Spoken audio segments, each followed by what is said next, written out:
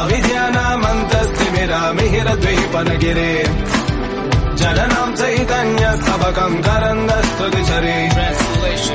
gracious one, you're the sun that dispels the darkness of the unlettered. You're the stream of consciousness for the unthinking.